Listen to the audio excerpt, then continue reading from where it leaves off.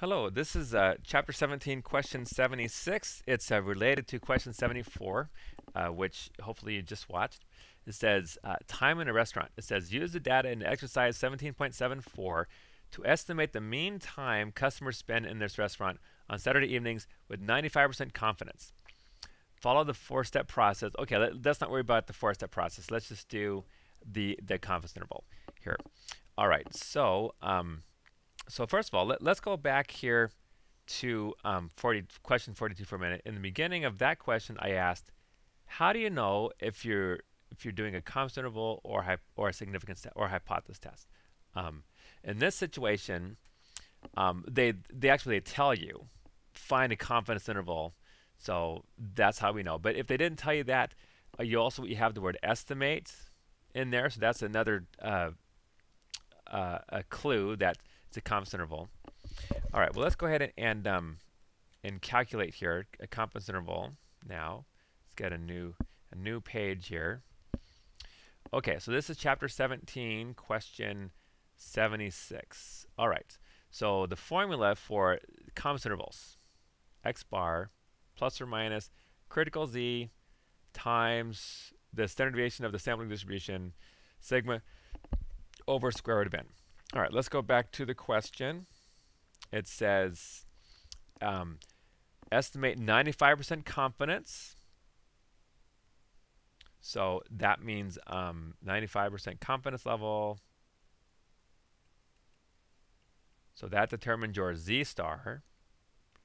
So z star is 1.96. You probably have that number memorized by now. You've used it, been using it for so so much. All right. Now let's let's take a look at our our um, our raw data here. Uh, what is X bar? So uh, I downloaded the data earlier, and um, uh, here here's the raw data. It's uh, the the mean of all the all the data points is 105.7. So let's write that down here. So 105.7 minutes. Um, N, if you recall uh, from the last question, was 30, 30 customers in the restaurant. And then um, standard deviation is 15 minutes. And that's, that's again from question 74. All right. So all, all that stuff you either get from the problem itself or from, from the data. Now you just uh, plug in the numbers and you do the calculations. So uh, X bar, 105.7 minutes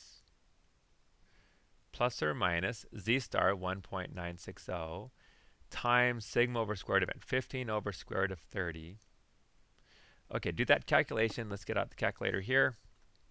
All right, I'll just do square root of 30 first. So square root of 30 is 5.4772, so I'm going to have um, 1.960 times 15 divided by 5 point, what was it again?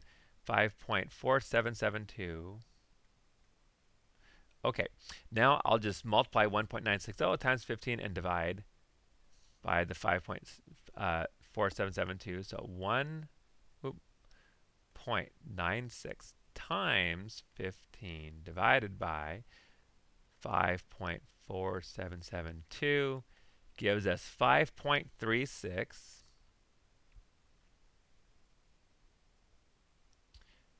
uh, hold hold on a minute here.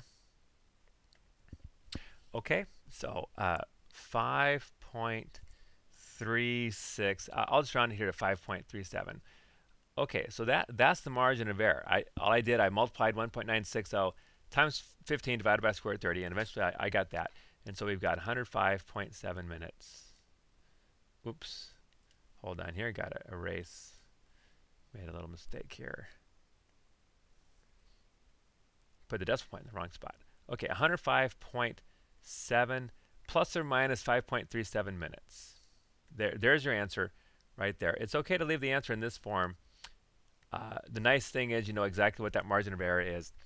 Uh, but you can add and subtract that if you want to. You can go 105.7 minus, you can get out your calculator here, go uh, 105.7 minus 5.37 is 100.33 to, and then you, and then go 105.7 plus 5.37. That's 111.07. And you can give the answer like that, and put in put a comma between because it's an interval, um, and then uh, that gives you the upper and lower bounds of your interval. Um, either way, the way to interpret this question is that basically I'm 95% sure or 95% confident that the real uh, or the true mean of the population, I'll just say the mean of the population,